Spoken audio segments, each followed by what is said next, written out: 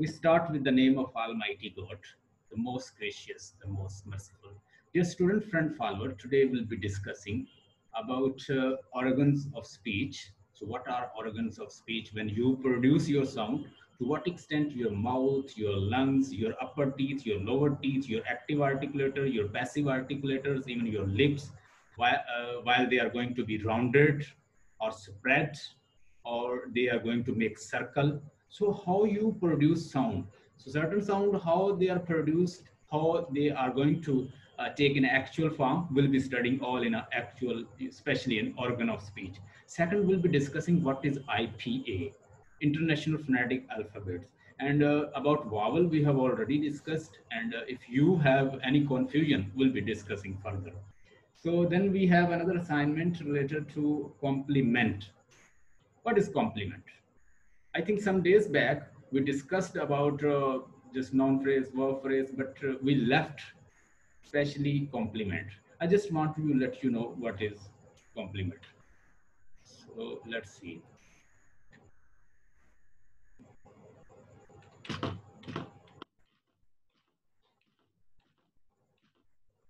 Morpheme we have discussed. I have. So what is complement? Who will tell me? Complement, object complement and subject complement. How we can recognize whether it's a subject complement or object complement. यानी object complement कब बनता है subject complement कब बनता है और complement uh, होता क्या है who will define me in simple word if you have already studied grammar you have studied you might have heard from your teacher or you study from your teachers let me know what is complement first perhaps you don't know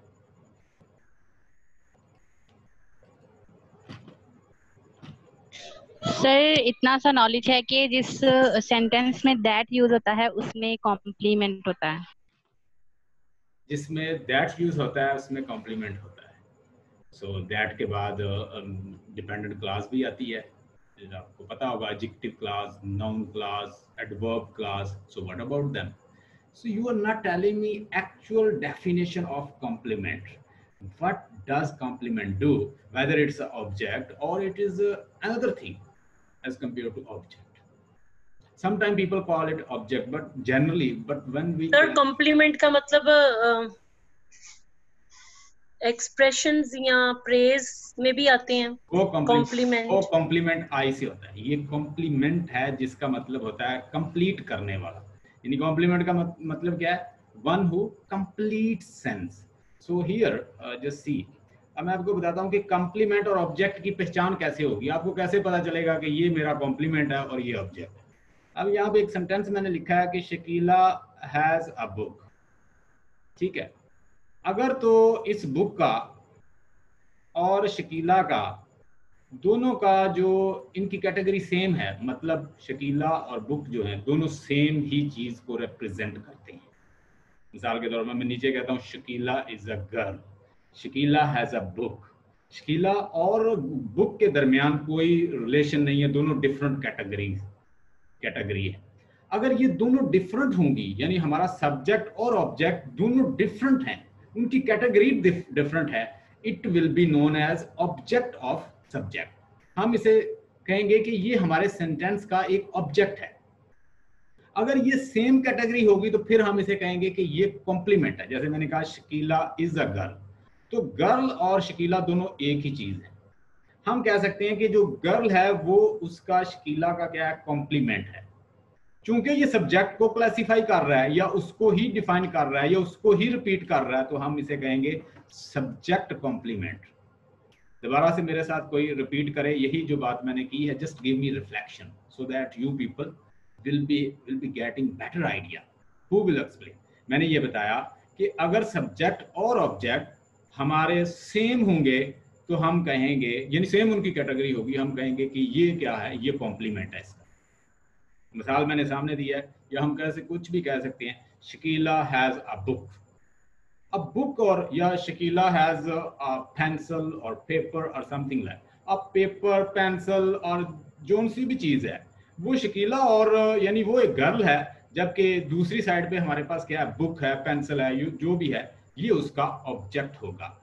But on the other side हमारे पास दूसरा जो sentence है Shakeela is a girl अब जो girl है, ये इसका क्या है? ये इसका कॉम्प्लीमेंट है. It's not object will call it object because is it is repeating the same it is repeating our subject तो हम इसे कहेंगे सब्जेक्ट कॉम्प्लीमेंट कॉम्प्लीमेंट का मतलब होता है वन हु कंप्लीट सेंस जो सेंस को कंप्लीट करता है, उसे हम कॉम्प्लीमेंट कहते हैं. वो आप जो कॉम्प्लीमेंट कह रही हैं that is another another thing वो compliment C O M P L I से होता है.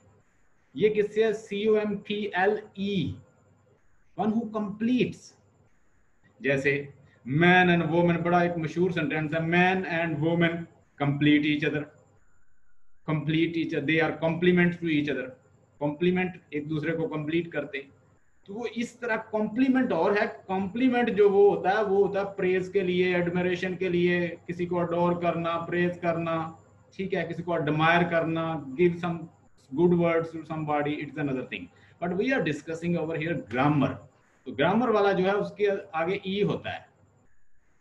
क्यों फो दिया? इसको रिपीट करें जो बात मैंने कही है। Shakila has Shakila is a girl तो यहाँ पे गर्ल जो है, ये क्या है? इसका सब्जेक्ट कॉम्प्लीमेंट है। इसको मैं ऐसे लिख सकता हूँ। सब्जेक्ट प्लस वर्ब प्लस क्या आएगा ये? कॉम्प्लीमेंट लेकिन ये कौन सा कॉम्प्लीमेंट है? सब्जेक्ट कॉम्प्लीमेंट एस सी लिखूँगा. Subject complement completing the subject repeating the subject और ये जो मेरा, इसका स्ट्रक्चर क्या बनेगा? इसका स्ट्रक्चर बनेगा, ये देखिए. शकीला हैज़ अ बुक दूसरा सेंटेंस है शकीला हैज़ अ बुक अब शकीला जो है और बुक जो है, ये दोनों डिफरेंट कैटेगरी है. हम इसे कहेंगे कि ये इसका ऑब्जेक्ट है. इसको मैं ऐसे लिखूँगा. Subject plus verb plus object उस वक्त मैं आपको समझा रहा था, लेकिन वो हमें टाइम नहीं मिला तो ये रहता था, लेकिन मेरे माइंड में होती हैं चीज़ें जो रह जाती हैं। तो I hope you got the point तो एक कॉम्प्लीमेंट है, वो क्या हो सकता है? या तो वो ऑब्जेक्ट कॉम्प्लीमेंट हो सकता है, या वो क्या हो सकता है? सब्जेक्ट कॉम्प्लीमेंट और जो मैंने आपको यहाँ पे मिसाल दी है, ये जो है हमारा सब्जेक्ट कॉम्प्लीमेंट है। क्योंकि ये गर्ल जो है किसको रिपीट कर रहा है? शकीला को। शकीला जो हमारा सब्जेक्ट है। सब्जेक्ट ये जो इज़ है, ये वर्ब है। इसे हेल्पिंग वर्ब भी कहते हैं ऑक्सिलरी वर्ब भी कहते हैं, इसे वर्ब भी कहते हैं। Subject plus verb plus subject complement hope you got the इतनी समझ आ गई। अब नेक्स्ट स्लाइड देखें, उसके ऊपर ऑब्जेक्ट कॉम्प्लीमेंट की भी मैंने मिसाल दी है।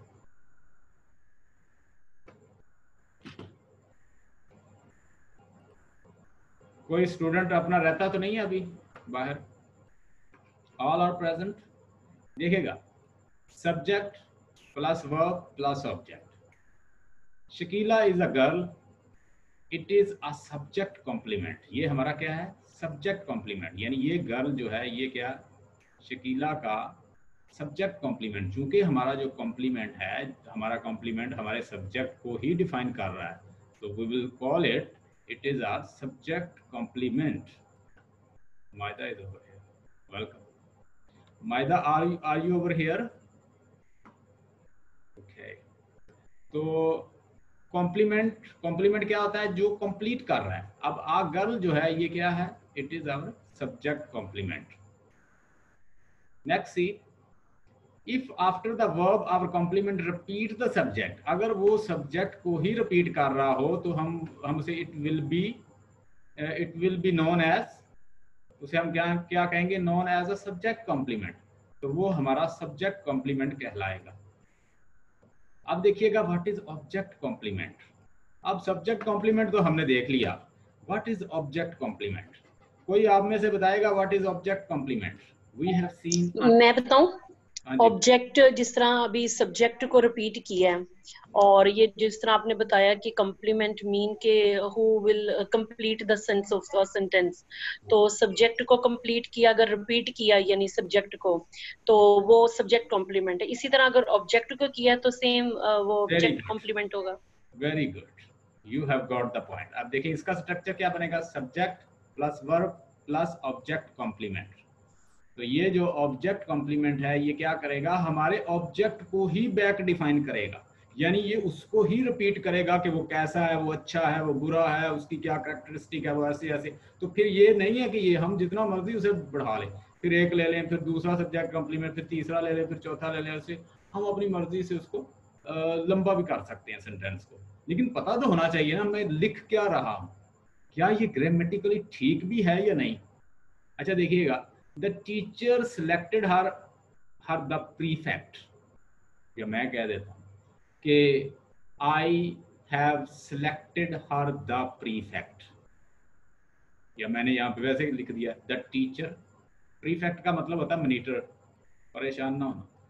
द टीचर सिलेक्टेड सिलेक्टेड तो हमारा वर्ब है, ठीक है? ये हमारा सब्जेक्ट है, ये हमारा वर्ब है, और ये ऑब्जेक्ट है। डेफिनेटली आखिर पे आया ना तो ये हमारा ऑब्जेक्ट हो गया। लेकिन ये क्या है फिर यहाँ? ये हमारा कॉम्प्लीमेंट है। अब ये कॉम्प्लीमेंट किसको डिफाइन कर रहा है? ये टीचर को तो डिफाइन नहीं कर रहा टीचर को रिपीट नहीं कर रहा। ये किसको रिपीट कर रहा है? कौन बताएगा? इट इज़ रिपीटिंग हर ये हमारे ऑब्जेक्ट शकीला को।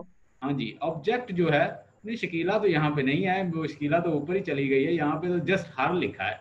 कोई भी हो सकती है आप भी हो सकती हैं। सर ये उसी को सब्जेक्ट को mean noun the teacher selected her the prefect मैंने तो यहाँ जर्नल लिखा है, देखिएगा। द टीचर सिलेक्टेड और हार और प्रीफेक्ट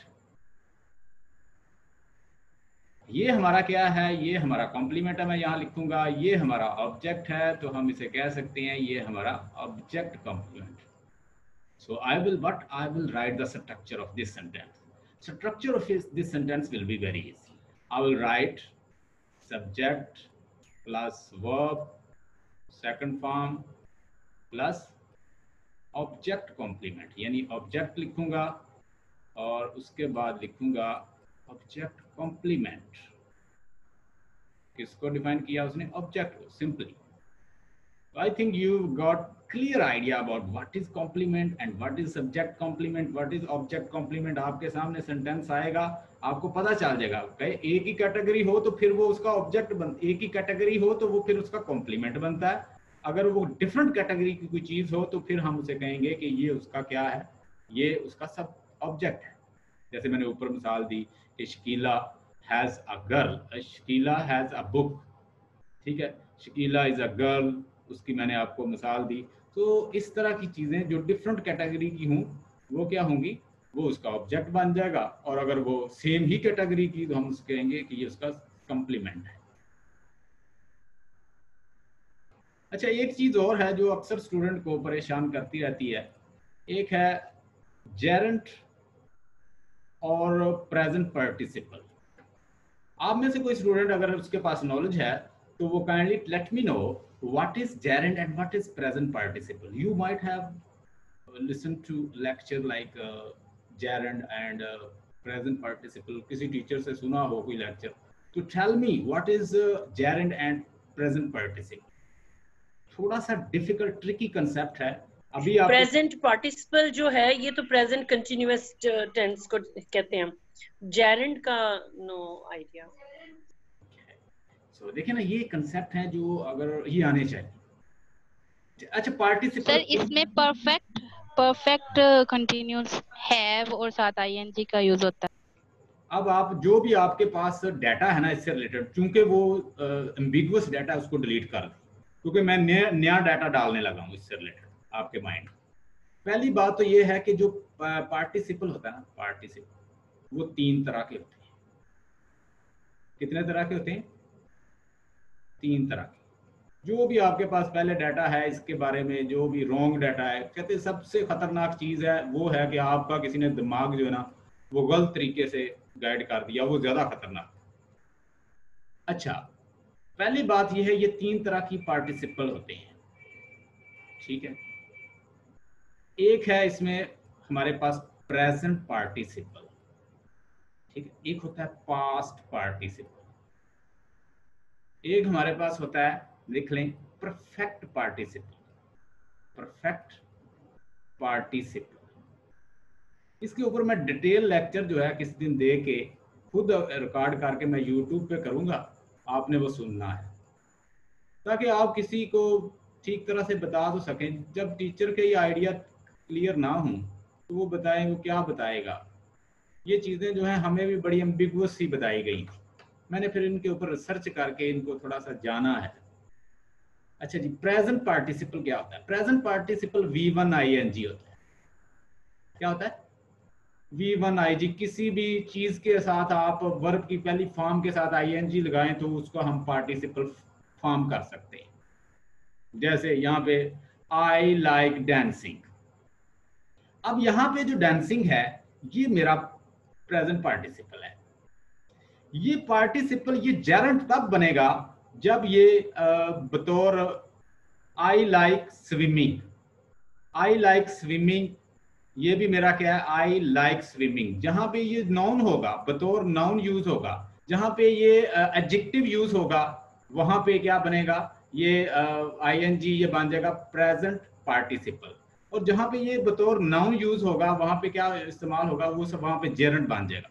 दोनों चूँकि सेम है, इसलिए कंफ्यूज करते हैं. कुछ मिसालों से मैं आगे बताऊँगा पहले ये कंसेप्ट समझ V one I G I N G जो है वो हमारा प्रेजेंट पार्टिसिपल है। यानी जब ये बतौर नाउन यूज़ होगा सर एक मिनट एक्सक्यूज मी एक मिनट मैं जरा थोड़ा सा रिपीट करूँ आपके साथ ताकि फिर आगे ने प्रॉब्लम डांसिंग यानी ये नाउन से रिलेटेड है तो ये प्रेजेंट पार्टिसिपल है। और ये स्विमिंग जो है ये ऑब्जेक्ट से रिलेटेड है। या प्लेस से। एक मिनट एक मिनट। मैं थोड़ा सा ये कंसेप्ट बता लूँ फिर उसके बाद उधर आऊँगा। क्योंकि वो मल्टीपल इंस्ट्रक्शन जो होती है ना, वो डिस्टॉर्ट करती है माइंड को। मुझे ये जो अभी मैं बता रहा हूँ ये मुझे बताने दें। अच्छा verb V one I N G ये हमारा प्रेजेंट पार्टिसिपल यानी एक प्रेजेंट पार्टिसिपल फॉर्म करने के लिए हमें V one I N G चाहिए। वर्ब की फ़र्स्ट फॉर्म उसके साथ आई। ठीक है? दूसरा है हमारे पास part past participle past participle verb की तीसरी फॉर्म को क्या कहते हैं? पास्ट पार्टिसिपल और इनको नॉन फाइनाइट वर्ब भी कहते हैं।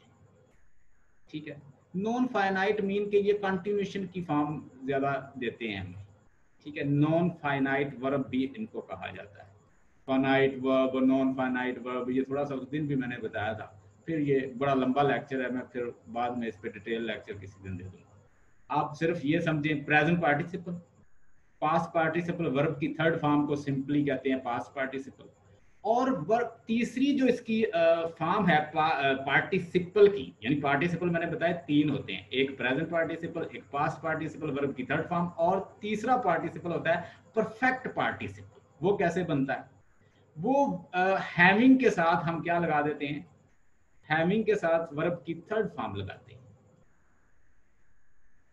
Having verb third form. मिसाल के तौर having attended uh, this lecture he went to college. यानी ये काम कंप्लीट हो तो उसके बाद कोई uh, थोड़े से इंटरप्शन के बाद दूसरा शुरू हो जाए थोड़ा सा टाइम के बाद उस तरह ये हम यूज़ करते हैं। हैविंग और उसके बाद वर्ब की थर्ड फॉर्म लगाते हैं। ये हमारा बनेगा परफेक्ट पार्टिसिपल अब ये चीज़ समझ लें। अगर तो uh, अगर तो आपका बतौर ये ये देखिए gerund work as a noun gerund जो है वो वर्क करता है नाउन अगर तो आपका V one I N G work कर रहा है बतौर नाउन तो वो आपका जेरन है। वो क्या है? वो आपका जेरन है। अगर आपका ये V one I N G क्या वर्क कर रहा है? बतौर नाउन वर्क कर रहा है तो वो आपका क्या बन जाएगा? वो जेरन है। अगर ये बतौर एडजेक्टिव काम कर रहा है ये देखिए, gerund work as a noun in a sentence. While present participle work as adjective, जबकि प्रेजेंट पार्टिसिपल जो है, वो क्या काम करता है? एज एडजेक्टिव मिसाल के तौर पर यहाँ पे दो मैंने मिसालें आपको दी हुई हैं। For example I like dancing अब ये डांसिंग जो है, ये किसी को डिफाइन कर रहा है आगे अपने? किसी कोई चीज़ है जिसको ये, जिसकी सिफ्त हो। कोई आगे चीज़ नहीं है। तो आप सिंपली समझ जाएँगे, ये मेरा क्या है? ये नाउन है यहाँ। ये क्या है मेरा यहाँ पे? नाउन है। क्योंकि इसके आगे कोई चीज़ नहीं जिसको ये डिफाइन कर रहा है। अगर तो ये डिफाइन कर रहा है तो ये फिर सेंटेंस के अंदर मेरा प्रेजेंट पार्टिसिपल बन जाएगा। इस इस इस कंसेप्ट को अब रिपीट करें ताकि दूसरों को पता चल जाए। Who will repeat this repeat it so that other come to know who is going as a volunteer who is going to repeat अगर सेंटेंस के अंदर मैं फिर बता देता हूँ, अगर सेंटेंस के अंदर आपका V one I N G बतौर नाउन काम कर रहा है तो वो आपका जैरंड है। वो क्या? जैरंड है। अगर ये उसके अंदर बतौर एडजेक्टिव काम कर रहा है तो ये आपका क्या बन जाएगा? प्रेजेंट पार्टिसिपल आपका फिर क्या बन जाएगा? वो आपका प्रेजेंट पार्टिसिपल बन जाएगा। प्रेजेंट पार्टिसिपल कब बनेगा? जब ये एडजेक्टिव काम करेगा किसी सेंटेंस के अंदर। मिसाल के तौर पर मैं कहता हूँ I saw a dancing girl I saw a running water मैं यहाँ पे लिख देता हूँ I saw I saw her running water I saw running water आप मुझे बताएँ कि रनिंग वाटर क्या है? वाटर जो है ये मेरा नाउन है। और ये यहाँ पे बतौर उसका एडजेक्टिव काम कर रहा है। तो ये प्रेजेंट पार्टिसिपल बनेगा या जेरेंट बनेगा? Who will let me know ना here gerund running water my dear running water present participle है। मैंने ऊपर लिखा हुआ ये देखें मैंने कहा कि अगर तो बतौर नाउन काम करे ये नाउन है तो जेरेंट है। अगर ये एडजेक्टिव काम करे तो ये प्रेजेंट पार्टिसिपल बनेगा। तो running water running water water हमारा नॉन है रनिंग जो है उसका एडजेक्टिव काम कर रहा है। अगर किसी सेंटेंस के अंदर V one I N G आपका एडजेक्टिव काम कर रहा हो एडजेक्टिव काम कर रहा हो तो उसे हम प्रेजेंट पार्टिसिपल कहते हैं। अगर वो नाउन काम कर रहा हो तो वो आपका जेरेंड है सिंपली मेरे साथ रिपीट करें, आपको पता चल जाएगा। करें यही बात रिपीट यहाँ पे देखें, यहाँ पे ये नाउन है या एडजेक्टिव है? कौन बताएगा? इज़ इट नाउन यहाँ पे ये नाउन नाउन है। ये नाउन है इधर। यहाँ पे शी लाइक टीचिंग ये क्या? है सर ये भी नाउन है। यहाँ पे नाउन है। यहाँ पे नाउन है। यहाँ पे नाउन है। तो जिसमें बतौर नाउन काम करेगा मैंने बताया it will be our gerund it will be our gerund it will be our तो फिर ये तीनों ये तीनों ये जेरेंड हो गए। तीनों gerund how they are how they are gerund? Because they are working since they are working as a noun of in a sentence ये सेंटेंस के अंदर बतौर नाउन काम कर रहे ये शुरू में भी आ सकते हैं ये सेंटर में भी आ सकते हैं। आपने पहचानना है कि ये वर्क क्या कर रहा है। Hope you got the point आगे आए। इससे रिलेटेड एक और प्रेजेंट पार्टिसिपल से भी रिलेटेड मिसाल मैंने एक शामिल की है। यहाँ पे देखिए। I saw a dancing girl I saw a running water यहाँ पे आप बताएँ, ये एडजेक्टिव है और ये जो गर्ल है, ये क्या है? ये नाउन है। गर्ल नाउन है, किसी लड़की का नाम। किसी लड़की किसी भी लड़की का को गर्ल कहते हैं तो नाउन बना ये नाउन है मेरा और ये मेरा adjective I saw a dancing girl we saw a flying kite flying kite ठीक है? I slap the changing face I slap the changing face अब चेंजिंग जो है एडजेक्टिव है और फेस क्या है? नाउन है। हाँ शकीला, कौन बताएगा ये? I slap the changing face ये हमारा क्या है? प्रेजेंट ये हमारा ये हमारा प्रेजेंट नहीं है। ये हमारा प्रेजेंट पार्टिसिपल है। और ये डेफिनेटली हमारा फेस जो है नाउन है। और जिसमें बतौर एडजेक्टिव काम करे वो हमारा प्रेजेंट पार्टिसिपल है। आज मैंने आपको कंसेप्ट दिया what is difference between gerund and adjective sorry gerund and participle i have given you concept about uh, complement and object subject complement object complement and these things you should remember in your life so if you are teaching especially in school you must teach the student right thing ताकि आप उनको right चीजें जो है वो बताएं वो confuse ना फिरते रहें कि भाई पता नहीं जेरंड क्या होता है और ये क्या होता है और वो परेशान रहते हैं स्टूडेंट इस तरह so try to teach them good thing empirical idea practical ideas बच्चों को देने चाहिए, ताकि उनको कोई फ़ायदा भी हो। Let's see I share another slide